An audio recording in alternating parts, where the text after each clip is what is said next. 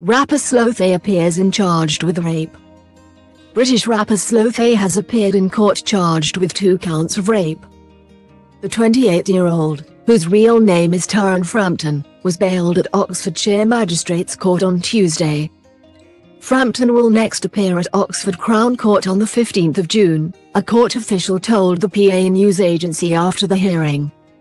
The rapper was nominated for a Grammy Award in 2021 and a Mercury Prize in 2019.